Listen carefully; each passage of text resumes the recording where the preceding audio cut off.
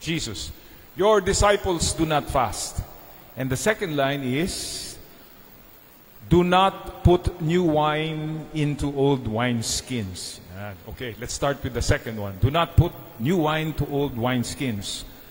Yung wineskins, that refers to us. Old wineskins are those who cannot change, cannot adapt. Tawag po niyan sa Tagalog, eh, makunat ka na. Hindi ka na maka-adjust. Okay? Uh, my grandfather, yung lolo ko, he has a term for that. Sabi niya, yung old wineskins are those who are considered katoliko serado, doble kandado. Wala na, hindi na nagbabago yan. Pag nagrosaryo, kailangan ganito. Oh, you have to be, well, serado katoliko, doble kandado. Wala nang adjustments. Everything has been predetermined and you have to follow this only. Wala nang pagbabago. New wineskins are people who are open to change, who are flexible, who can make adjustments, who can adapt to things that might be a little different. New wine is the bar Yahweh, the Word of God. The Word of God does not only refers to the Gospel or to the Bible. It can be in the inspiration that God gives you. Oh, ngayon, ito ang gawin mo. Huwag ka pumunta doon. Just like in the Old Testament, the prophets heard the bar Yahweh, the Word of God, and their lives were completely overturned. Hindi naman yun ang trabaho nila. They were dressers of sycamore trees, they were speculators of land, and God asked them to do something. The bar Yahweh.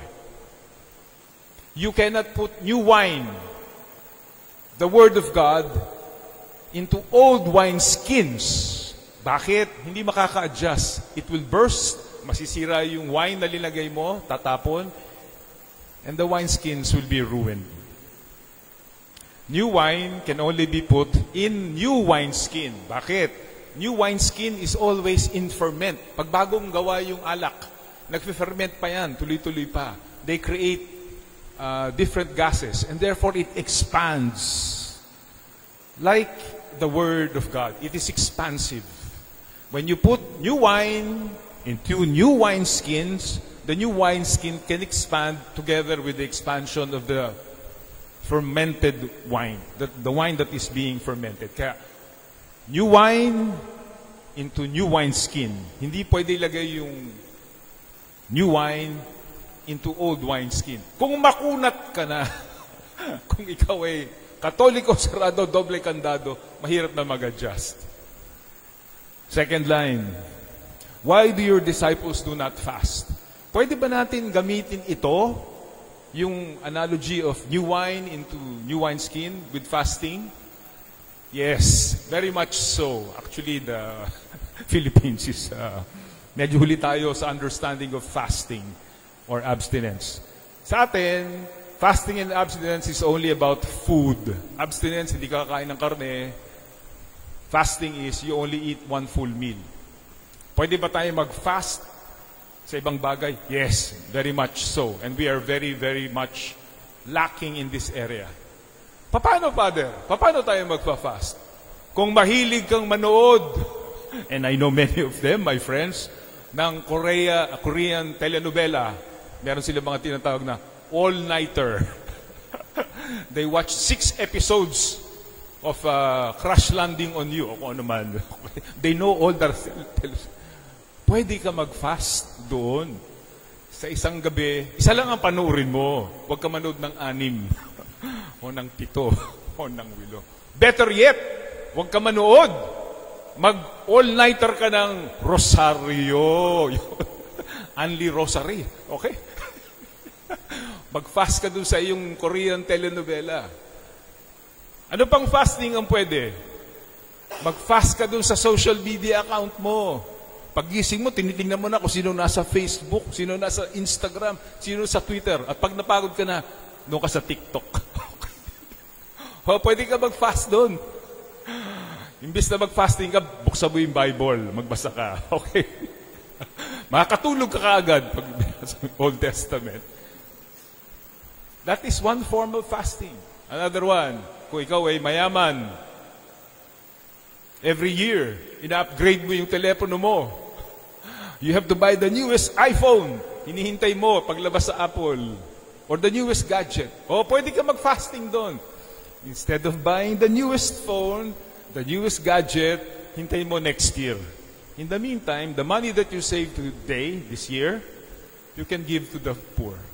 I am sure that is a better fasting than not eating one meal or not eating meat. Okay lang yun, Father. Wala naman kaming pera eh. Oh, tulad namin mga religious. Madre, pare, at uh, seminarians. Pwede rin kami mag-fasting ng kakaiba. When we live in community, palagi kaming may kaaway. Ganun talaga. you always have somebody that you do not like. We call that mutual antipathy. Hindi mo alam bakit. You just don't like one another. You can fast your heart. Kakausapin mo siya.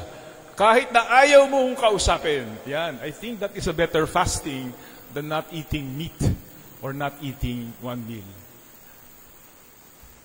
You only have to be open to the Word of God. Dabar Yahweh. And if you are fresh wine skin, hindi ka old wine skin, hindi ka makunat. There are so many ways that God can use you. Can make you a vessel of His, of His Word. We only have to be new wineskin. The nice thing about this is, you choose. Ikaw ang pipili.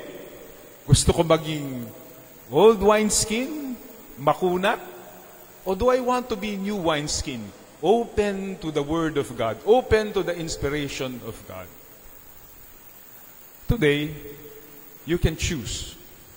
Choose to be the new wineskin.